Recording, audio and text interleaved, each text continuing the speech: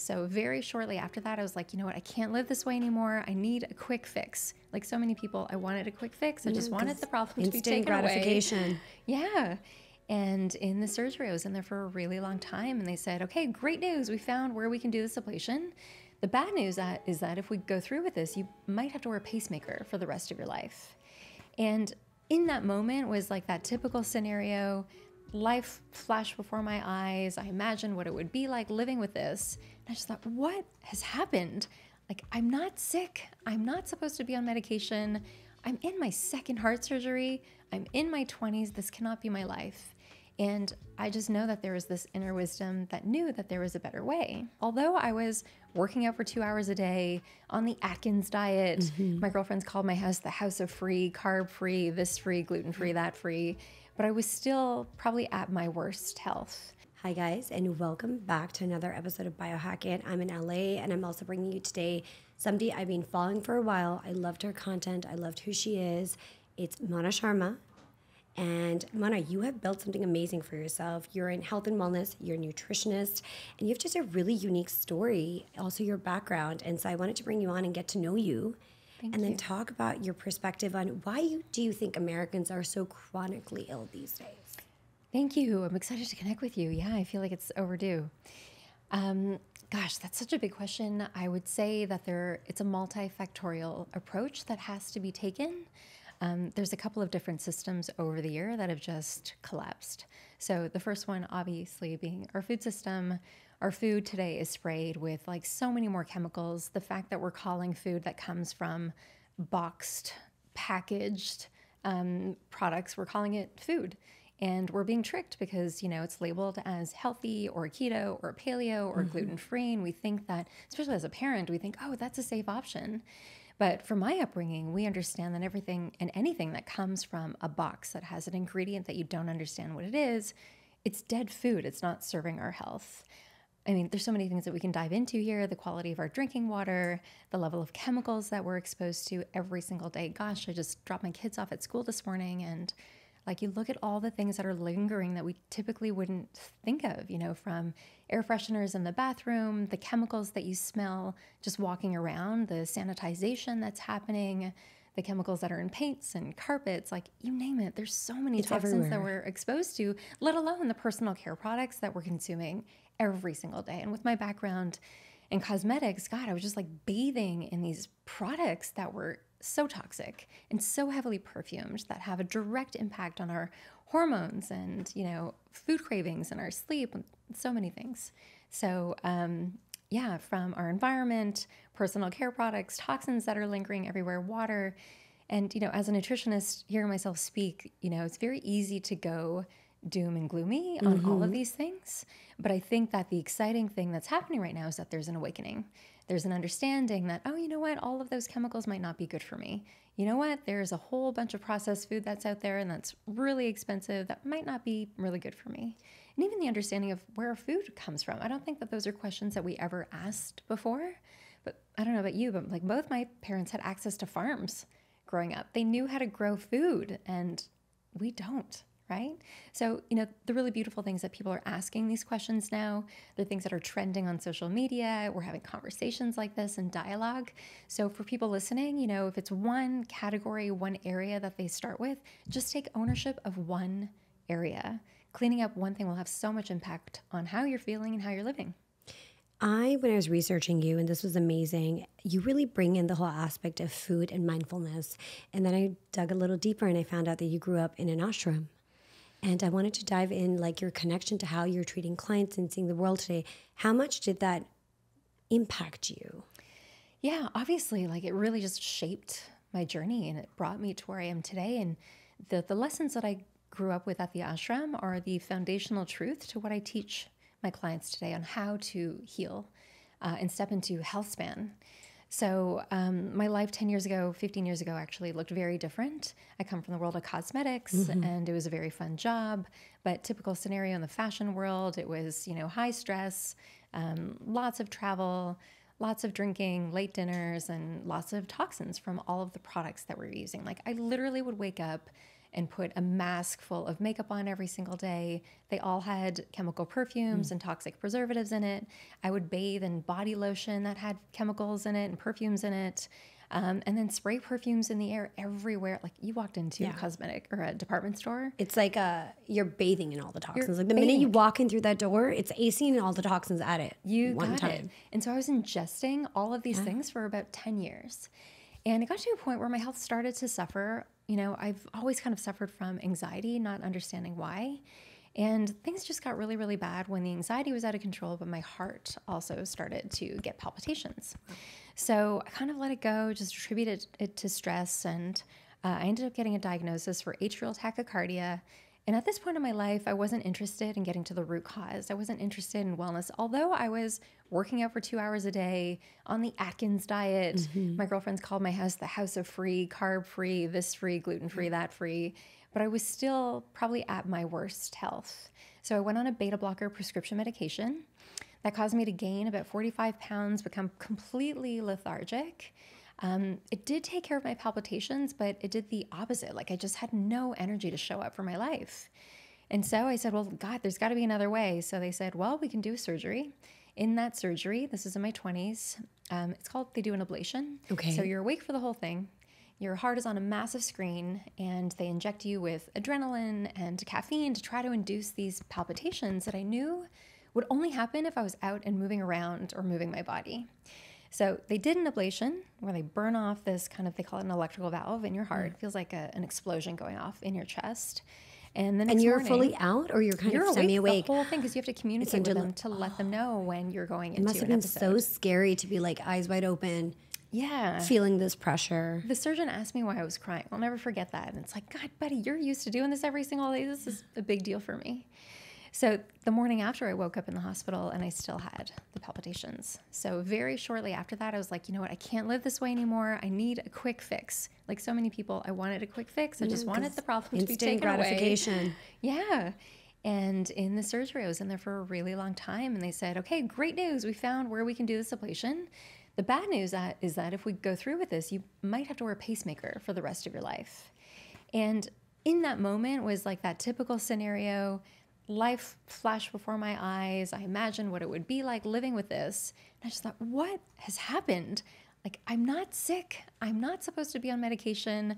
I'm in my second heart surgery. I'm in my 20s. This cannot be my life. And I just know that there was this inner wisdom that knew that there was a better way. So, growing up, my dad, who's Indian, my mom, who's Danish, I've only ever known my mom to suffer from debilitating uh, autoimmune disease, so rheumatoid arthritis. I've only ever known my mom to be completely deformed. And when we went away in the summer to live at the ashram, the focus is on living in nature, away from screens, in community, um, practicing breath work every day, practicing meditation every day, practicing rest every single day, eating a high fiber plant focused meal every day and I would see the impact of this growing up, but my memory was, you know, my dad tapping me on the shoulder at 5:30 in the morning to go meditate, right? You probably got to go to like fun summer yeah. camp. Yeah. No, I went to yoga camp. this episode is brought to you by Timeline Nutrition. Are you ready to unlock the secret to boundless energy and vibrant health no matter your age? Imagine your body as a bustling city with trillions of tiny power plants your mitochondria working tirelessly to keep you alive and thriving. But here's the catch. But here's the catch. These cellular powerhouses are under constant attack from modern life's invisible enemies, toxins, processed food, and polluted air. As we age, our once effective cellular recycling system starts to slow down, leaving us feeling drained. Enter MitoPure, your cellular fountain of youth. This isn't just another supplement, it's a scientifically backed revolution in a bottle. MitoPure doesn't just mask symptoms, it dives deep into your cells, clearing out the cellular clutter and making room for vibrant, energetic newcomers. Imagine recapturing that youthful spark, the boundless energy, the quick recovery, the mental clarity. That's the MitoPure promise. It's not just about adding years to your life, but life to your years. Don't let another day pass feeling less than your best. Rejuvenate your cells reclaim your vitality and age with MitoPure. Visit timeline.com slash biohackit now and use my exclusive code Biohack It, your future self will thank you. Clients today and taking the core things that you were taught in your childhood to heal yourself, to then mm-hmm. actually grow up, to incorporate those into your healing so you can come from a perspective of empathy. The big thing with traditional medicine sometimes is you go in to see a doctor's office, they see you in such a narrow scope, they don't want to understand root cause, they don't want to give attention to traumas that make us who we are. And there's signals in our body, the, the body keeps score that something is mm-hmm. not working. Yeah. Doctors really, and like, God bless them, they were taught to, you know, address the symptom, take away the pain. That's mm-hmm. exactly what the doctors did for me. Like, it really did work. Right. But the problem is that it was a bird's eye view at my health. There was no integration of my emotional body, my spiritual body. There was just looking at one physical component to my body. Right. Right. And this is the case for so many people today. And I think that there's an understanding that, like, we're so much more complex than that you can't just treat one part of your body. Everything within us is connected. And this is where I believe like Eastern medicine is known all along. There's integration that has to happen between understanding how the body works Right. synergistically together. And um, something where, like, if I have a dream for the future of where healthcare is going, it's going to go in that direction. Are you into like spirituality and stuff as well? Yeah, I would say, you know, on my first call mo- most of my clients, um, the first question is, Mona, just tell me what do I need to eat? What's a supplement protocol? Tell me how to fast, and I'm just gonna I'm gonna do it. We're Right. gonna get started, and this is gonna be it, right? But honestly, nine times out of ten on that first call, when I ask people about, you know, the suffering that they have, the symptoms that they have, and I get them talking about it a little bit more, it all stems from a feeling of overwhelm, uh, an emotion within their body. There's sadness. They instantly go to a story of when they were a kid. Like, I remember I used to do this as a kid, or I don't remember the last time that I was happy. I don't remember the last time I didn't feel stress and anxiety. I don't remember the last time where I didn't obsess over what I was eating or feel like I had to exercise hardcore. Like, they don't remember ever not be ever being in balance, right? And so a lot of the work that I do, as much as when I came back and I started working as a nutritionist, I kind of got into that trap of putting people on food, exercise, and supplement protocols, right? And for the most part, they worked until they didn't, right? Some people know this as yo-yo dieting. This is when in, you know, in our world people are addicted to looking for the next protocol, the next red pill, the next guru to follow, the next, you know, style of medicine that's like trending mm-hmm. or fasting, whatever it is. Um, but it ultimately always gets us back to the same base point where we're not doing those things anymore. So at the ashram, when you're left to breathe by yourself, meditate by yourself, be on your yoga mat by yourself, you're you literally have to stop and you have to listen to everything within you. So, what I say at the ashram, what happened is it was like shutting down all of the open running tabs that we all have running constantly in our brain and having to come into my body. And for a lot of people, that's a really scary place. Like, what have I repressed in my body that I have to deal with? I don't want to deal with it. I'd rather over caffeinate, overeat, over alcohol, smoke Just addiction, out, outrun what's things. really going on in the background. The you know. And the beautiful thing with a practice like yoga and so many other practices like that is you're in your body, you're dealing with the tension that comes up. You're given time to kind of question, like, why does this feel so uncomfortable for me? And you process it. Like, I'm sure you've done yoga, and it's not uncommon to see somebody have like an emotional release in a class, a tear that falls, or if you do your yoga teacher training, a lot of us are getting up and walking out of class because we just need to Take a some minute to space, ourselves, yeah. right, to see what happened. I think that for the first time in gosh, maybe a couple decades at that point, I really um, tuned in, yeah, to address all that stuff. So I think that when it comes to healing, you have to address your spirit, and I would say treat it as the ultimate return to your your true self. Like, what was the energy of who you were when you came into this world? I think the way you're describing spirituality is so important as well because it's connecting to yourself, and that's where we, I feel personally people have become very disconnected. They don't know who they are. They don't know where they belong. There's a sense of loneliness and community that we've created, and so we've fallen away from what it means to be in community, to be part of kin, and I think that's also the root cause of a lot of people's health issues. Is mm-hmm. Who do I belong with? Where do I belong? Where are those questions? They're so unsure of themselves. And it's this spiritual connectivity that has to come into treating them, you know, all over. Like it's not just about the supplements, it's not just about the food, it's not just about your sleep, but it's about having your self connection. Yeah, and there's two sides of that coin, right? On one side, I say that healing today has become a very self centered approach. We're so concerned with how we look, how we feel, doing it on our own, having to figure it out, suffering in silence, dealing with our thoughts and emotions, trying to put on a front to everybody else. Mm. You know, social media, we make everything look perfect. Um, when, when we think about the other side of that, we all used to live with at least our families, our extended families, especially from mm. our culture, yes. right? We lived in tribes or community where there would have been a lot more support.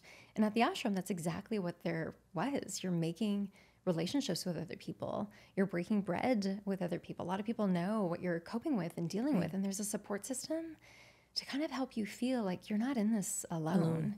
we are all here suffering and it's going to be okay and you are healing it's not about when you're going to get to you are healed it's like you're healing every you're day always in healing, this moment yeah. let's do it together and i think that there's such a refreshing take that happens when you're in community with other people so that it's not so self-centered and um, i think your body becomes a lot more resilient because you know you mentioned this idea of being alone loneliness loneliness is a major area of um, or how should I say that?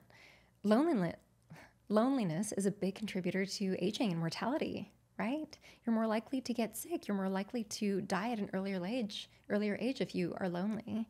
So community is everything. And I think that if you can find your spiritual community and uh, community in general, if you use those roles yeah. together, yeah, it's a beautiful thing. It's a beautiful thing. I wanted to, in case somebody's listening to this and they don't know what an ashram is, can you describe it in your words? Yeah, so people always ask which which one. There's so many different types of ashrams mm-hmm. that are mm-hmm. all around the world. I grew up with the Shivananda ashram um, in Montreal originally, and then when I was old enough, I started going to the Bahamas. Obviously, it was on Paradise Island and the ocean and the beach. It was oh. just it was magic. So the beautiful thing about an ashram is that there's a daily set schedule. Um, and at first, it feels really good having every hour of the day pretty much accounted for. You have a place to be. Again, those shutting down the tabs in the mind, it gives you something to focus on, right?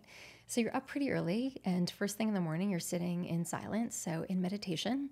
Um, after that, you're in community, likely listening to a spiritual talk or doing some chanting as a community, which is so therapeutic.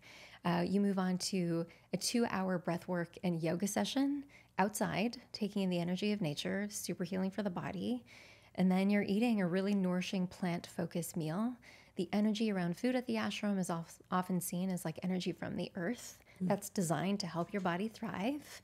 Um, and then the afternoon is spelt, spent mostly in some sort of a, a spiritual practice or some sort of karma yoga where you're giving back or personal study. And then you repeat the same cycle at night. So, yoga, meditation, um, chanting, spiritual talk, lights out, and you repeat the next day. So imagine having that schedule not only for a week, but up to like a month or two months. That's exactly what I did when I went to heal. And I remember like just wishing, I just want to get out of here. I want to do something different. And then coming back into the real world, losing that structure in my life felt like I didn't know what to do. I felt scattered again. I felt lost. And I very easily went back into the trap of being busy. We're also good at being busy. In fact, we're busier than we've ever been before. If you ask a girlfriend, How are you? I'm so busy. So busy, yeah. I asked you how you were, right? We're all so, so, so busy. And I think that if we can take more control over our schedule, I teach my clients how to bring the structure of an ashram into the city, into their lives, because we can use our calendar as our boss or as our spiritual outline in terms of um, how to heal our best, how to thrive, how to schedule the things that really matter, how to schedule the right foods. We just we have to make the time for it, otherwise we'll simply lose time. How was it for you coming out of this beautiful, structured yet very healing environment that you lived in for many years into the hustle and bustle of like New York, the corporate life, like New York and like New York is probably one of the busiest places on the planet, yeah. and it's the energy is complete chaos. You know, and it's amazing in your twenties, but it can be very draining at the same time. How how is the adjustment for you? So going back to that point of anxiety is my blueprint. Yeah. I think that growing up, um, I have amazing parents, but I remember my dad always focusing on like having a to do list or being on the path of personal growth. Mm-hmm. And so much so that it became an addiction. Like I was always addicted to the courses, the programs, how do I better myself? Which sounds like that's like pretty okay. It's not bad, right? But what that meant for me is that I was always looking to feel or be in a place that was different from how I was in the present moment, right? I was not grounded despite my background at the ashram. I knew about this, but I became very addicted to how do I get somewhere else faster? That felt awesome. You do. Yeah. It's a cultural thing. I think South Asians are wired to just be like, and the next thing, and, the, next, thing. And, and it's all of Asia. If you look at us as a population, you know, there are all these running jokes about how strict our parents are and nothing's ever good enough and they want you to be a doctor or a lawyer or whatever.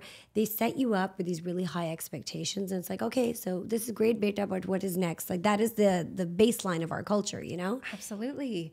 And I'm like, I'm A type. So even in this world, I'm so grateful that the people I work with are like, Mona, you're so calming and soothing.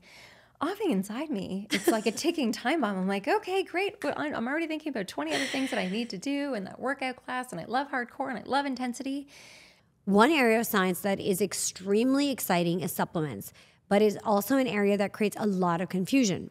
Today, I want to talk about a supplement that's been a game changer for me Seeds DS-01 Daily Synbiotic. This little powerhouse is packed with 24 clinically and scientifically studied strains. And get this, it's engineered with something called ViaCap, which helps it survive the treacherous journey through your digestive system. This means it actually reaches your gut alive and ready to work its magic. Since I started taking DS-01, I've noticed a lightness in my stomach that I hadn't felt in years. It's like my gut and I are finally on the same page. And bonus, my skin's been looking clearer and more vibrant too. What I love about Seed is their commitment to science. They're not just throwing together some random bacteria and calling it a day. They've got numerous clinical trials published in top scientific journals. So, really, you have access to some of the best minds giving you the top science. And let's talk convenience. I just pop my DS-01 capsule in the morning and I'm good to go. Now, I know what you're thinking another supplement, but trust me, this isn't just another pill. It's a scientifically validated way to support your digestive health, reinforce the gut barrier integrity, and promote a healthy immune system through the gut immune axis. Ready to give your gut the love it deserves? Go to seed.com slash biohackit and use code 25 biohackit for 25% off your first month of DS-01. That's 25% off at seed.com slash biohackit, code 25 biohackit. And that's okay. But I think this is where we need to honor our parts, right? Yeah. They don't have to define us so much. So going to New York, when I used to work there, was so exciting. You become alive, there's always something to do. But it was ultimately for me a complete distraction from how I wanted to feel in my body. And now if I go to New York, it's like it's two days in and then we go back to the norm. Yeah. That's how it is for me as well. I feel like I get the adrenaline, but I'm like, I need to go back to Miami because I'm now more regulated. And mm. growing up as a South Asian, I wasn't necessarily regulated because it's always like go, go, go, go, go. And what's the next thing you're gonna go do? So I feel that when I when I moved to Miami 10 years ago and really the last five years when I got into health and wellness and got passionate about my own healing journey. Um, both my parents passed away as well, like very close uh, to each other. It made me stop and think about the things that really matter and don't matter and what I want to be doing with my time Yeah. and the kind of people I want to be around and questions I hadn't really asked myself and being okay with being a little quiet. I'm sorry to hear about your parents. Thank you. And yeah, when I got sick, like on that surgery table, and even looking at my mom's health, you don't need to experience it. We can just say nothing matters if you don't have your health. Time stops, life mm. stops. And I think that living in today's world where, you know, how we started this conversation, we're so bombarded with things that are outside of what the human physiology needs to heal and feel balance. And we're struggling to make it work. And we're pushing like a boulder uphill to try to make it work. Yeah. And we're proving to ourselves that we can do it because we're strong and we're resilient, right? Women, especially, just like, you know, they wear this sense of doing more as a badge of honor when inside it's just depleting us. So I think that, you know, for your listeners, I think it's really important to understand how do you want to feel every single day?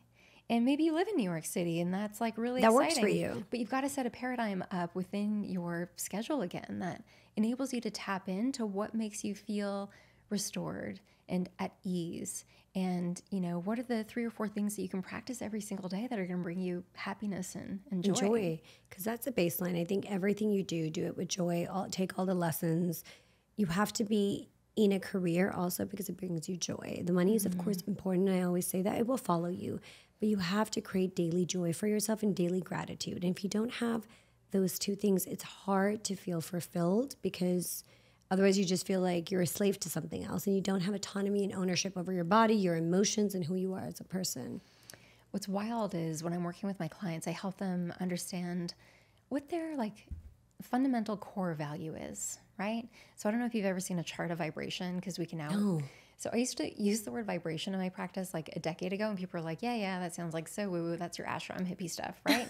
but now we could actually measure vibration. So if you can there's an actual can. chart that measures it so if you pull, I forget the the name of the person, but on this vibrational chart, you can measure frequencies of joy and happiness and just feeling peace in your body, and then down to feeling a sense of just like apathy. But then there's guilt and worry and stress and fear, and the worst one is shame. And so helping my clients uncover like what they really wanted their driving force of a core value to be in their life. Most of them, if I were to ask them how they wanted to feel every single day, what do they say? I want to feel accomplished. I want to feel wealth. I want to feel productive. I want to feel proud. I want to feel um, empowered. And it would take so many people, it would take 20 minutes for them to just get to a word like, oh, yeah, I just want to feel happy. Like, I just want to feel happy to be alive. I want to feel really joyful in my body. I want to feel a sense of peace throughout the day, like complete disconnection because you're so focused on the culture of doing and being and being seen a certain way. And like the accolade of if I get there, that'll make me feel like happy.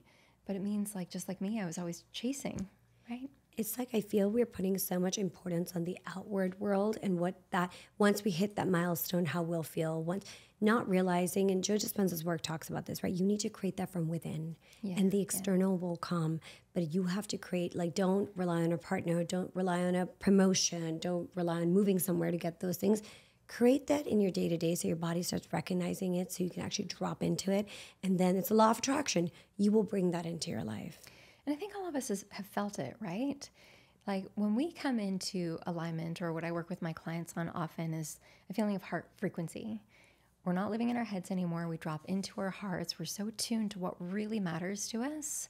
We make better decisions, whether it's around the foods that we eat, the conversations that we have, the people that we hang around, the, the sleep that we're getting. And when we're in that type of alignment and we feel good, more opportunity comes, more synchronicity comes. You're open to more the, this idea of abundance, whatever that means to you.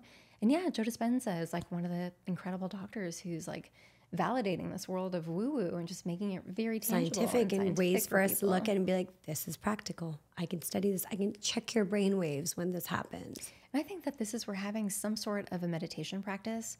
Meditation practices don't have to simply be sitting, you know, kind of just hoping for it to be over, trying to focus on your breath and stop your thoughts. It doesn't have to be it. You can meditate in very different ways, find the best way that suits you.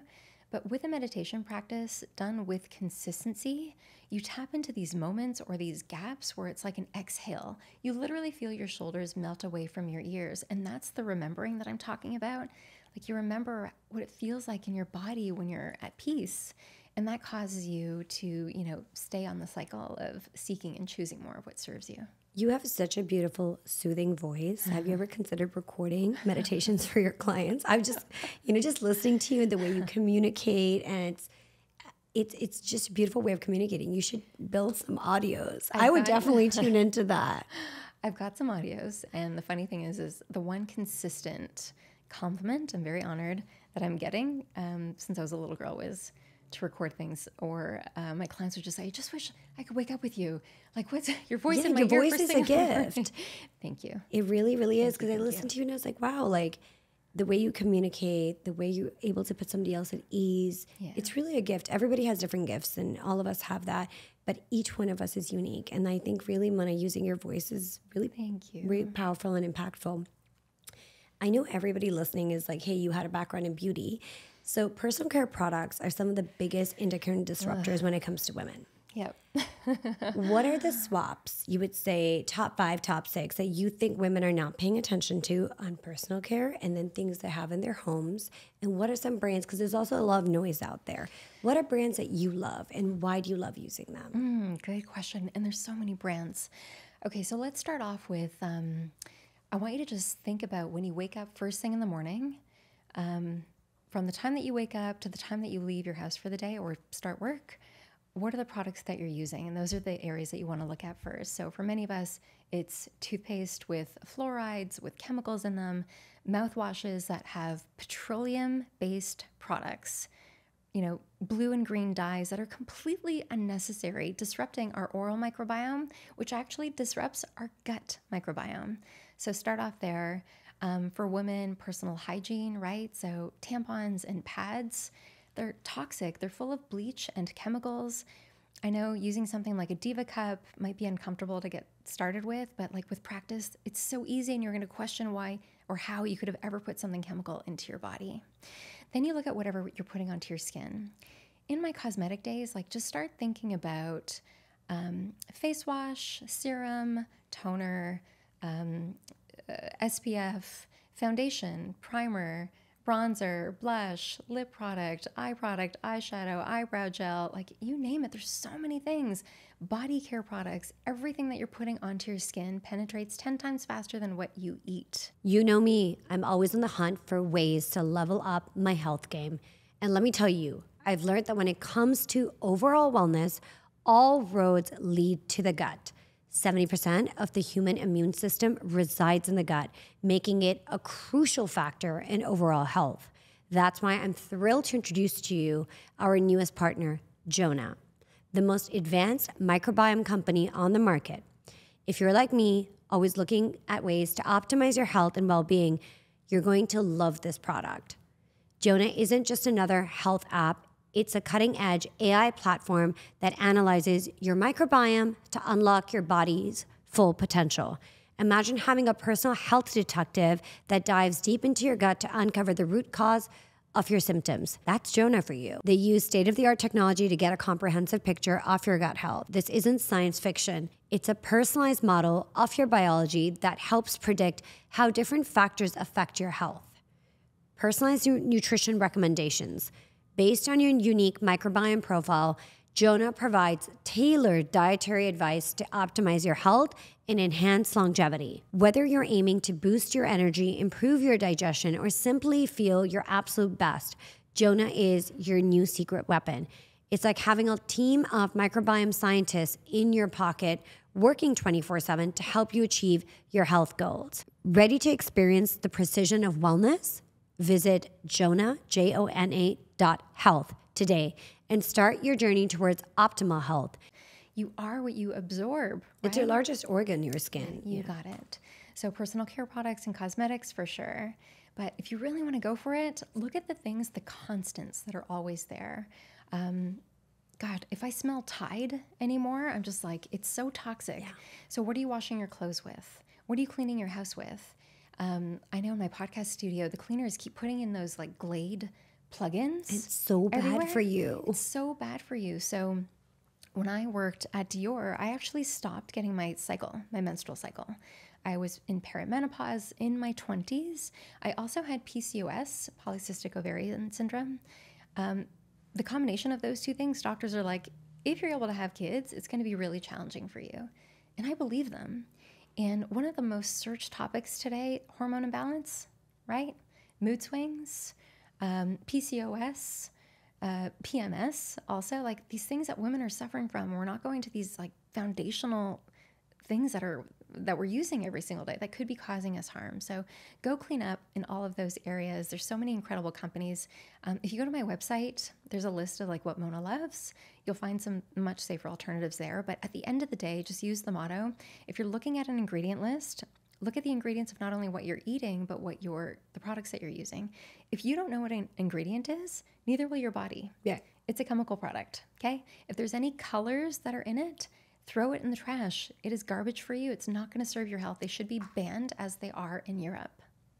And that's another thing. If you look at the list of regulations that go into Europe and why people are healthier and safer over there is I don't know why, whether it's our food systems, whether it's personal care products, the US is just not got the same regulations and framework.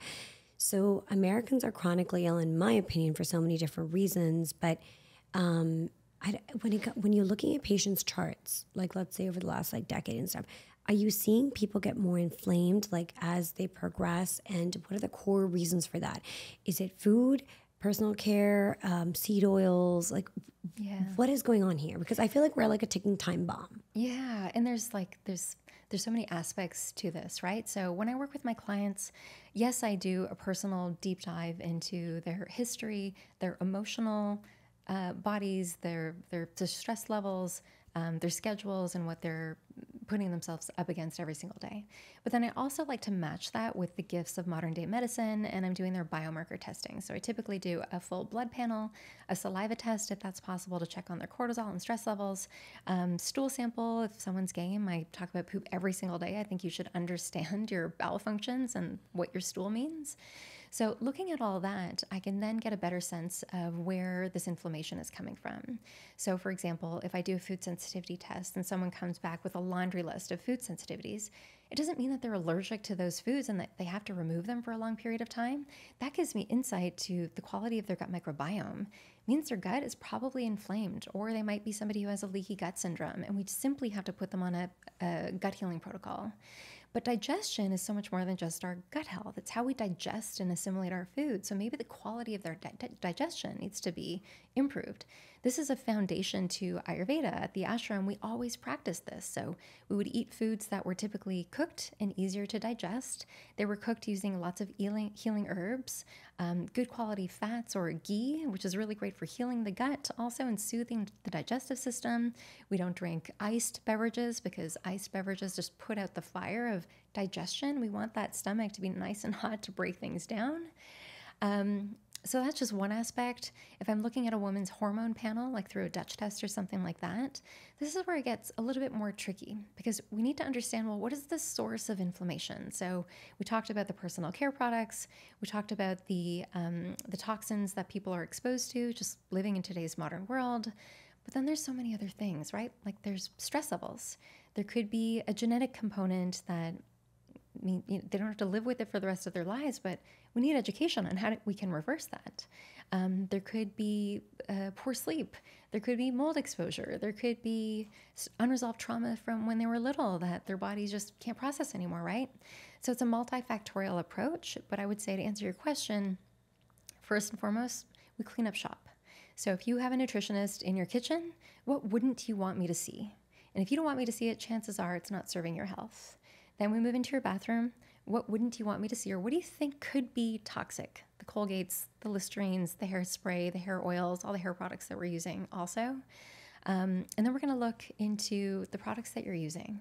You know, we live in a world where getting on social media, we see these like ads for supplements that are the next thing, right? Like, this is the thing that you should be taking. Or herbs, for example. At the ashram, if you meet with an Ayurvedic practitioner, if you're going on an herbal type protocol of supplements, it's a multifactorial, synergistic approach of how those herbs should work for your constitution in that moment at that time. And yet, here we are in the Western world, just throwing things down the hatch, taking something because it's trending, taking something because we heard it was good for us. And they might be things that are good for you, but if you don't know that the foundation of your health is optimal, that your digestion is on point, that you're having proper bowel movements, that your sleep is great, your circadian rhythm is functioning really, really well, then chances are you want to take a step back from all of those things and just start at the basics. And start building yourself up from there.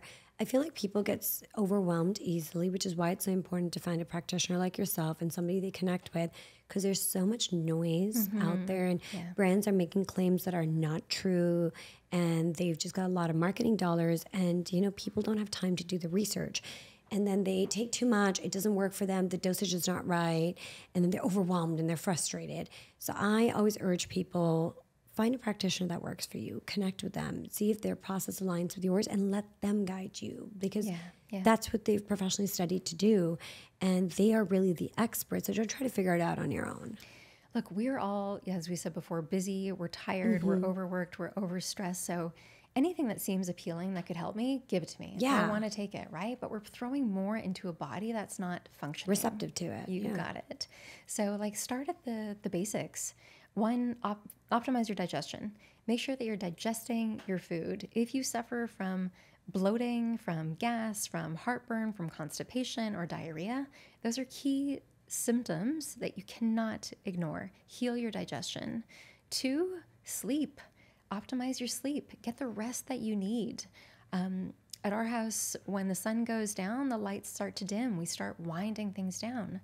In a perfect world, I'm off my my screens for two to three hours before bed. It doesn't happen all the time, but if I am on a screen, I'm wearing blue light blocking glasses, and I have some sort of a wind down practice, like going outside onto my balcony at night, looking up at the sky, so that my body understands. Oh, it's nighttime. Start creating the hormones that my body needs to go into a deep sleep rising with the sun, right? This is another big thing, thankfully, that this is trending. But our ancestors would have gotten up early, gone outside, and looked up at the sky or worked in the fields, right? So, one of the best things that you can do first thing in the morning, before you're looking at your phone, before making your coffee, take a glass of purified water. Go stand outside, maybe with your feet on grass, or at least looking up at the sky. Get those bright red rays of sun coming into your body. Or sometimes for me, it's still dark out. It's still beneficial. Look up at the sky, right? Um, and then nourish yourself. So, nourish yourself in the way that you need energy for your day ahead. Food has a vibration. It is loaded with vitamins and minerals and nutrients and fiber that is designed to help us thrive. Fasting is an option for some people, Not for all all. people, right? You have to work with a practitioner maybe to figure out what the best fasting cycle should be for you. But yeah, I think that the foundation is just like nourish yourself first. And then when you're in a state of feeling a bit of balance, your sleep is optimized, your bowel movements are optimized, your mood is stable, then look at the the extras that you can add in. and then you can throw in. You talked a little bit about in your 20s going into perimenopause, which can be so mm-hmm. scary yeah. for a young woman. How was your fertility journey? Like, you know, you have beautiful kids now. How how was it? Yeah, I was really surprised when I got um, that diagnosis. It was from a woman too, and it was a woman that said, "You know what? It might be really hard for you to have babies, right?" So for a lot of us, when we hear somebody in a white lab coat giving us a statement or defining our health, we live with that belief system. So from that day moving forward, I remember thinking to myself, "Well, you know what? Maybe I don't want kids, anyways. Maybe." Meanwhile, having children is like the one and only thing that I've I've ever known. It was like the one constant thing that I, I knew I wanted to be a mom. So the most heartbreaking thing that could have happened to me. Um, and I never had a regular cycle. So what's crazy is that since I started getting my menstrual cycle, my cycle would happen pretty much every three months. And when you're old enough to start going for pelvic floor exams and stuff like that, again, another diagnosis of irregular cycle. This is abnormal. Let's put you on birth control. So I thought, well, there's something wrong with me. I better go on birth control. And now we're learning like having a month, you as somebody with your own unique constitution and how you were brought up and your DNA and how you live life, three months could be your normal, right? Yes. So I was put on birth control, told that I had PCOS, perimenopausal. I was like, okay, this is it. I'm screwed. Maybe I don't want kids. When I got off birth control pill, the birth control pill, um, I guess I was like in my late 20s. And it was one of the hardest things ever. Like, I remember my body suffered. Um, I had insane acne. My hair was oily. Like, I would wash it in the morning and have to wash it again at night for like three months. It was the most insane process. But fortunately, there was an Ayurvedic practitioner in my ear talking to me about the benefits of detoxing. So I was doing a great detox protocol, doing panchakarma and stuff like that. Um, and then when my husband and I were ready to have kids, I actually got pregnant very easily. Amazing. It was awesome. And I'll never forget, um, I got pregnant with twins and waited till I was about eight or nine weeks. Uh, flew home to tell my brother, who also had twins, that I was pregnant. Have twins in your family. That's have twins in our family. told him, knocked on his door. I remember it was morning in Toronto, knocked on his door. I'm pregnant. The joy that came with that. Went for an ultrasound two hours later, and then there was no heartbeat. This episode is brought to you by BioOptimizers. Are you tired of tossing and turning at night, unable to quiet your racing mind? Four out of five Americans aren't getting enough magnesium, and it's affecting their sleep and overall well being. I used to lie awake for hours worrying about my to do list for the next day. It was a vicious cycle that left me exhausted and unproductive. That all changed when I discovered Magnesium Breakthrough.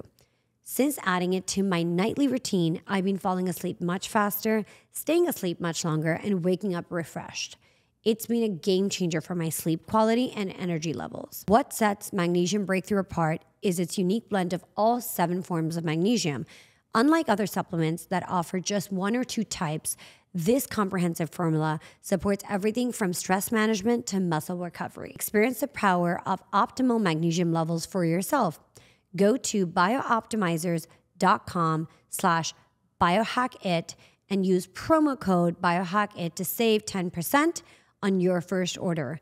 Subscribe for even bigger discounts and free gifts, ensuring your monthly supply is always guaranteed. Don't let sleepless nights hold you back. Try Magnesium Breakthrough today. And so I miscarried twins. And again, what did doctors say? Oh, it's so normal with your background. You know, it's kind of like, what did you expect? Mm-hmm. This is going to happen to you. You know, keep trying, try again when you're ready.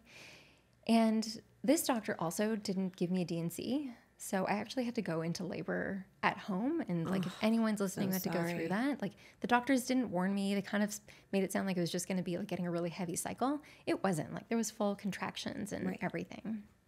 And it's also something that you don't recover from. So I'm hovering on this for a second because I think that too many people, too many women are being told that miscarriages are normal and they're expected to deal with it. And women also like it is there's a bit of shame, like, oh my I couldn't do it. Mm-hmm. And this is me as a nutritionist yeah. at that point too. Like me as a nutritionist couldn't stay pregnant. Like shame on me. What did I do? What's right. wrong with my body? Right? So um, when I got pregnant with my firstborn, my son, honestly, Iman, it was the first time that I experienced 100% complete self love. I would not let myself, I knew the power of my thoughts. I would not let myself talk to my body poorly. I would not criticize myself over my food choices. I would, you know, sleep like I love myself, drink like I love myself, eat like my, I love myself. And sure enough, I had a beautiful, healthy, incredible pregnancy. And he reflects that probably and because that's that. what the mom was reflecting at the time. You got it. And I would say, like my health during my both my pregnancies, I have a daughter and a son, um, were incredible. Like my body just became vibrant. I stepped into my femininity, and it right. felt like a superpower. If I can grow life, then I can heal. Right. My body has I can this do wisdom to grow life. Yeah. Why didn't I tap into this before? Why wasn't I ever told that I have this superpower of healing? Right. Yeah. It's, and so that woke it all up for me. And the messaging with my clients shifted like, you are your healer. I can't help you heal. I can guide you to doing the right steps, but you have to take ownership. So, you know, never ignore the whispers that you have of symptoms. It's your body communicating with you to listen and tune in so that you can find exactly what you need to step into your best health. That's such beautiful. It's such a beautiful way to come to that because you practice what you preach.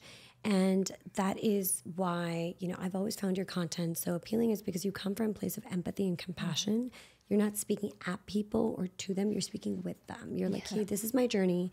This is what I've been mm-hmm. through. And then I'm telling you kind of from what I've experienced. Yeah. And I do think traditional medicine sometimes the the doctors are not taught that connection of empathy and compassion because you're just another number come in come out let's go and they don't take a minute to stop and think hey am, is the news i'm delivering going to impact the person? Am I just gaslighting them and just dismissing them? Am I really spending time to talk to my patient? Yeah, it's kind of unknown territory, but also because they've never been trained to do yeah. that, right? And I have so much sympathy for doctors who are on the other end of this right now, kind of at the other end of the frustration that mm-hmm. we're feeling like, why didn't you do this? Why didn't you talk to me about the impact of going on this medication or giving me that diagnosis? And they just didn't know any they better. don't know any better. And they spent a lot of money to get an education that their intention was to help people, right? So, yeah, I think today, you know, be very mindful. And thank you for acknowledging that about my page because, especially after COVID, I don't know about you, but I would go online. I'm like, whoa, every single person that I'm scrolling on is telling me to do something different, do this, Yeah. do that. They don't know who I am. They don't know my medical background. They know nothing about me, but they're talking about as if they know you and understand you. And I think taking You person if if you can do have the time and obviously the resources and everything, please take, in my opinion, a personalized approach to your health. Understand your unique autonomy, your traumas, your stories, what makes you you, and that is the direction you should be going in.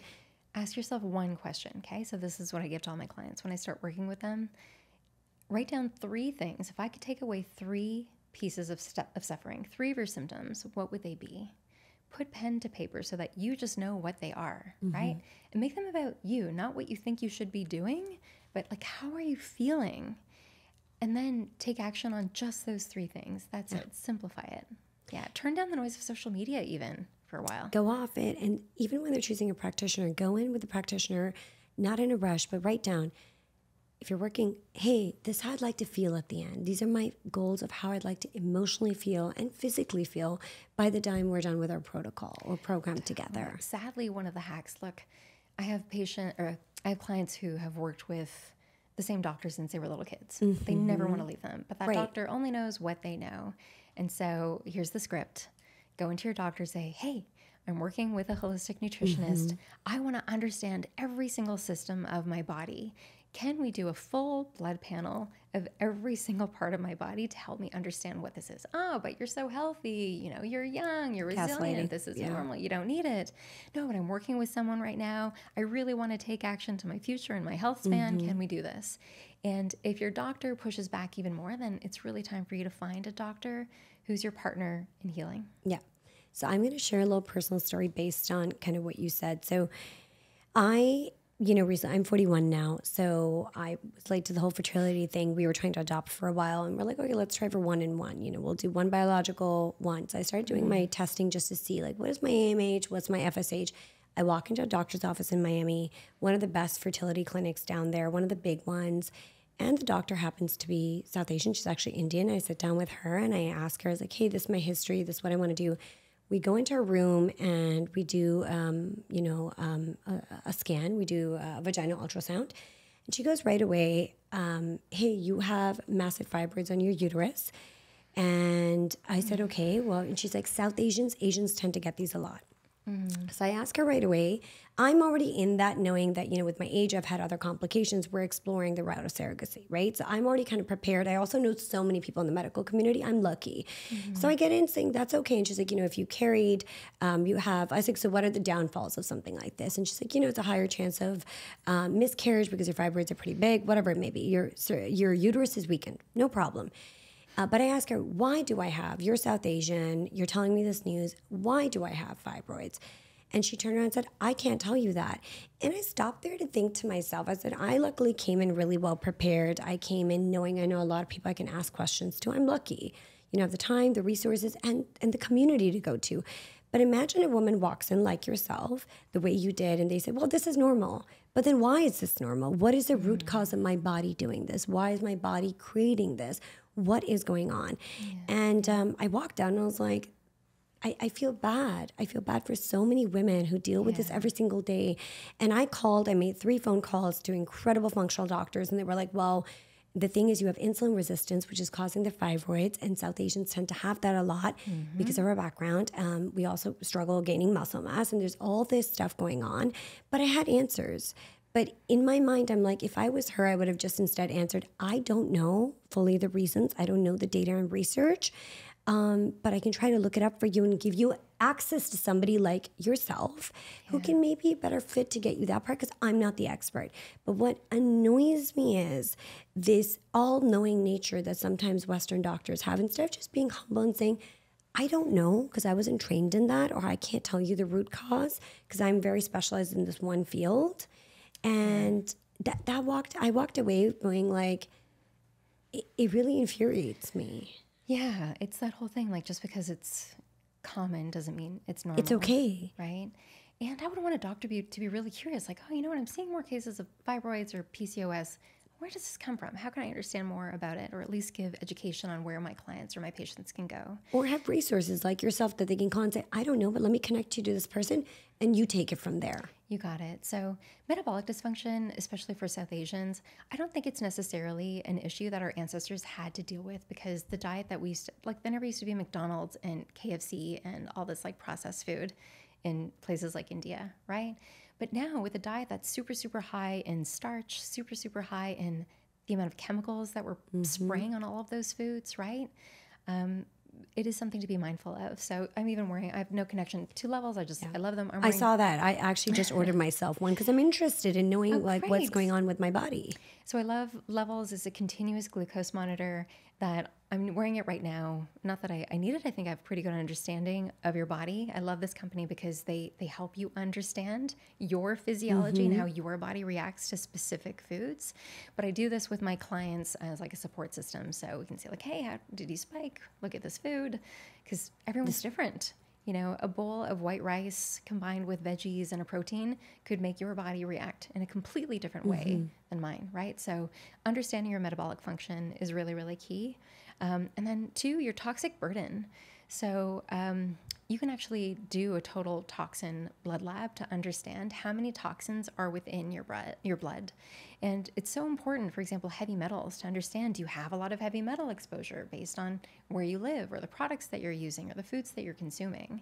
Because if they're not dealt with over time, those are going to contribute to your endocrine sy- symptoms, right? So you want to understand that toxic load as well.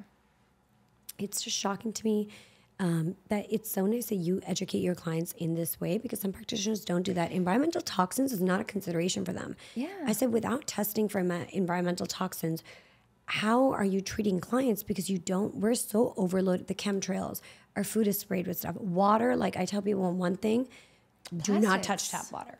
Don't touch or, tap water. and Never drink out of a plastic bottle. Hard stop. I came with one today. Don't judge me. No, and sometimes it's out of necessity. I could. I just had to grab it. But I always think to myself, I'm like, I have a heavy load of microplastics in my body. I did this IGL test. I don't know if you're familiar. It's a lab in Germany, and they test for every single environmental toxin Toxins, yeah. in your yeah. body. Yeah. And I had such high nickel in my body, other things that I didn't know about. And I'm like, this is a perfect storm. Yeah, and again, this is where like we really have to take control. So give yourself some grace. You're traveling. Mm-hmm. Not using plastic when we're traveling is the hardest thing, especially yeah. if we're traveling abroad. Um, you definitely want to go for a harder plastic bottle instead of those squishy ones, mm-hmm. right, which are more loaded with chemicals. We don't even know where, where they've been sitting. If they've been sitting in the sun, those toxins leach into the water, and then we drink them. More often than not, it's like it's really poor quality water. So uh, filtered water is really, really great. Spring water, if you have access to it reverse osmosis water if you can put a filtration system into your home, add mineral drops back into the water. That's something that I do. We do as a family every single day, but the quality of your water is like the first source of detoxification, right? Um, sweating, we all have forever chemicals. They found they find thousands of chemicals in umbilical cords. So our babies are already coming into the world full of toxins because mothers are exposed to them, right? Um, so supporting your your body. My kids, now that they're a little bit older, I put chlorophyll drops into their body, which is a natural detoxifier. Yes. So simple things that you can do: sweat more, get into a sauna, right? Uh, work with a lymphatic drainage specialist. Work right. on your detox pathways. Make sure that you're in- eliminating properly, right? Two or three bowel movements every single day is essential. People are also this is another thing that shocks me is we're walking around chronically constipated. Mm-hmm. And people are like, what do you mean you go to the bathroom every day? I was like, aren't we meant to go to the bathroom after every meal?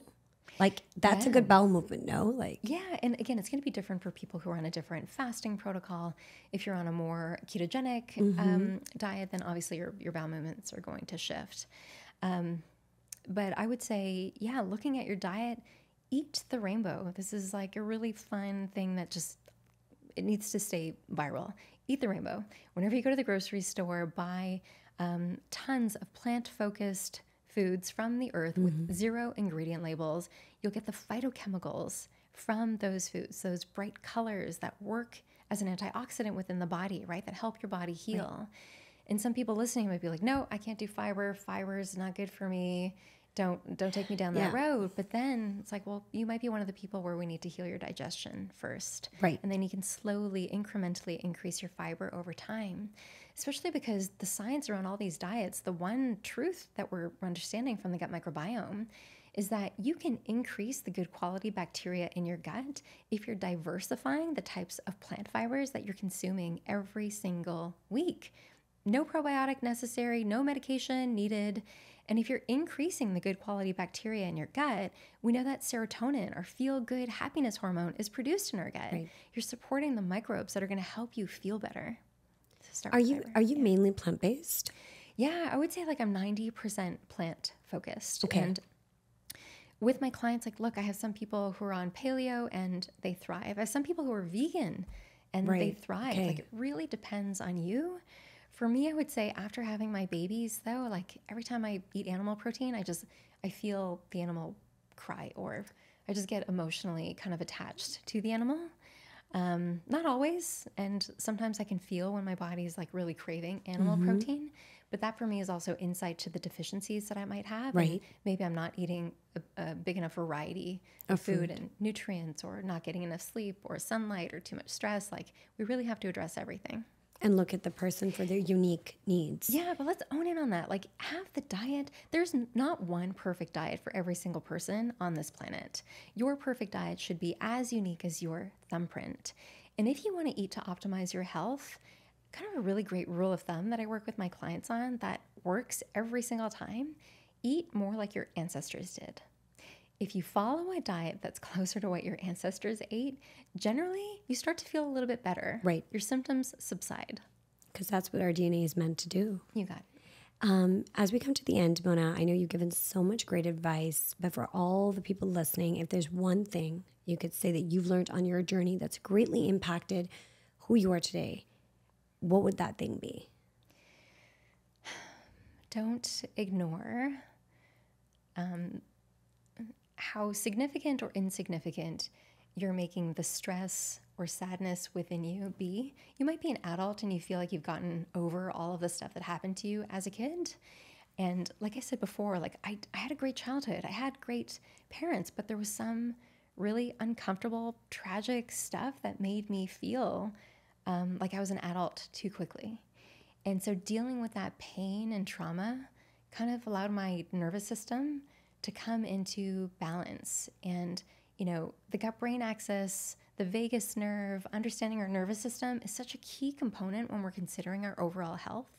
So, if you're somebody who just has this lingering thing from your past, as much as you feel you've gotten over it, but the emotion, if I were to talk to you about it, still brings up emotion, chances are that's still living within your body and it needs some liberation.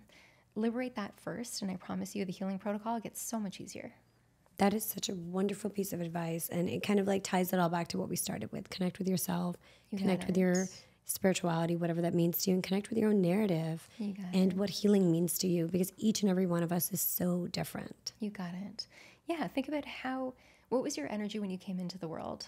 If you were to just imagine what you were like as a little boy or a little girl, what colors did you like to wear? What games did you like to play? Did you like to play at the playground, uh, at the water, in the sand, or in a forest? Right? What music did you want to listen to? How did you wear your hair? What foods did you love eating? Who did you love to play with? Right? Try to recall as much about your vibration and your energy and then do more of that. Awaken that within you because sadly, after the age of what, six or seven, We lose that. repress all of those things because we try to fit in. You know, for me, I just I wasn't Indian enough, I wasn't white enough. They put me in French immersion. I didn't speak either language. So I was constantly like trying to fit in instead of just letting my inner light shine, right? So I feel best now as a woman when I'm more in tune with that inner vibration. That's really beautiful. Thank you, Mona. I've been wanting to get you on the podcast for a while and thank you for taking out the Thank time. And, you. and you have your own lovely. podcast and I want people to tune into do. that. Yeah, so I have a podcast. It's called Rooted in Wellness, really merging the world of ancient healing rituals with modern day medicine. I think that if the future looks like there's integration between this wisdom that has been around for thousands and thousands of years, taking what nature has to give us to heal with the benefits of like all of the biometrics that modern day medicine is giving us, my God, the world, we would heal so much faster if we all just came together. So, guys, please follow her. I love your episodes. I think they're so insightful, and you, are just building something amazing. So, thank you again. Thank you. Thanks for having me.